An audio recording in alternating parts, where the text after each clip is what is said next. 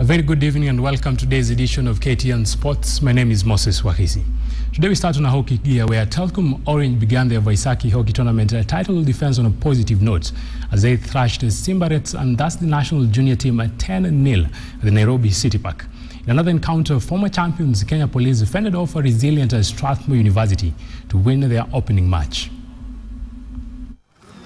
Orange Telkom continued to underline their dominance in Kenyan hockey as the Vaisakhi hockey tournament bullied off at the Kenya Hockey Union Stadium in Parklands. The Orange ladies were quick off their paces as Jacqueline Mulandi sounded the boards in the third minute.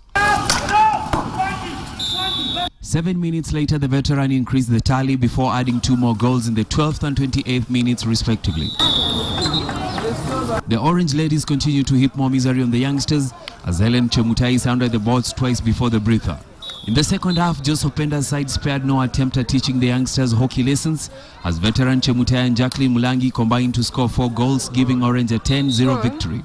Despite losing today's tie, Simba Simbarets admitted they have learned valuable lessons. think uh, it was a good show despite the, the results. But again, playing against the continental champions, uh, against the under 16s, it's, uh, it's a big plus for, for the guys. I think they, we try to play to a certain structure. Just working on what we learned uh, overseas for the national team, trying to incorporate it here, and just trying to move the ball and uh, being more creative than we've been. In another encounter of the day, Kenya Hockey League defending champions Kenya Police got off to a winning start as they emerged victorious over Strathmore University.